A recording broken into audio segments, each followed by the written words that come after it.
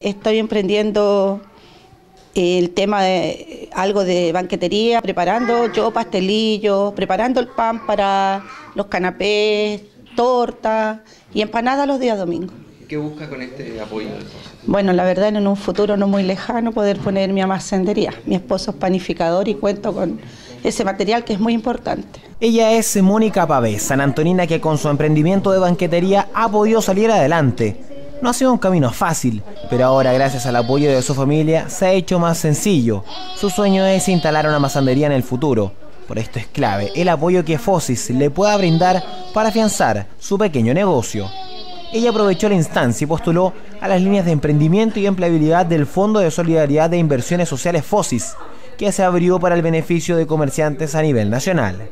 Precisamente en la oficina ubicada de la Gobernación Provincial de San Antonio se dio el vamos a la apertura de estas postulaciones, donde la comunidad podrá asistir desde las 9 de la mañana y hasta las 13 horas, y donde el director regional fue quien hizo extensiva la invitación a participar. Lo que necesitamos nosotros es que la gente venga los martes y los días jueves a la oficina que tenemos acá en Fosi, en la provincia de, San Antonio, acá en la, gobernación, y de 9 de la mañana a 1 de la tarde puedan venir a postular.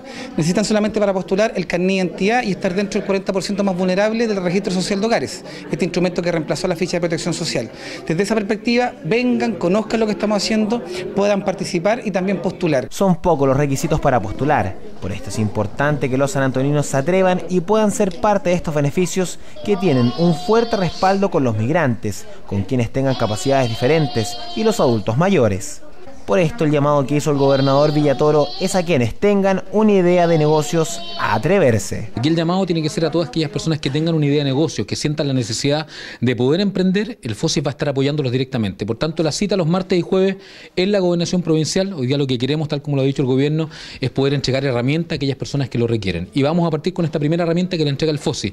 Tenemos herramientas posteriores como son a través de Cercoteca, a través de Corfo, a través del Centro de Desarrollo de Negocios, pero partimos para aquellos que quieren emprender con una idea de negocio con las herramientas de empleabilidad que entrega el FOSI. Así que invitados a participar a lo largo de todas las comunas de la provincia, particularmente postulaciones martes y jueves aquí en la gobernación provincial. Las postulaciones se iniciaron este 9 de marzo, extendiéndose hasta el 31 en los programas de emprendimiento, mientras que el 19 de abril concluyen las postulaciones a empleabilidad.